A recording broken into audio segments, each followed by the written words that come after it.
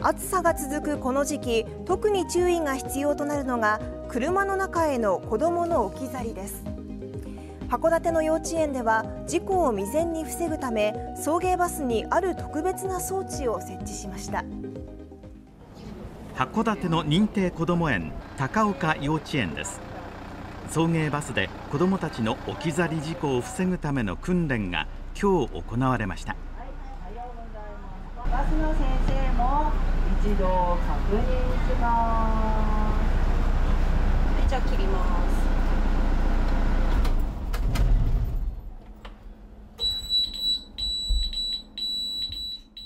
運転手がエンジンを止めると車内に警報音が響きます。ヒロックボタンと呼ばれるこの装置は運転手が車内の後ろまで行ってボタンを押すまで鳴り続けます。その際に子どもたちが置き去りにされていないかをチェックすることができるのです。もし仮に運転手がヒロックボタンを押さずにバスを離れてしまうと。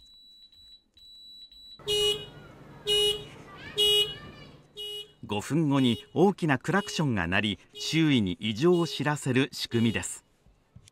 こういうブザーがあって予防できるのであればあのとても素晴らしいことだなって思います。人の目っていうことでまず第一に安全をあのチェック体制をとっています。しかしそれだけではなく確実に子どもたちの命を守る、えー、そういう環境を、えー、整えようということで、えー、今回設置しました。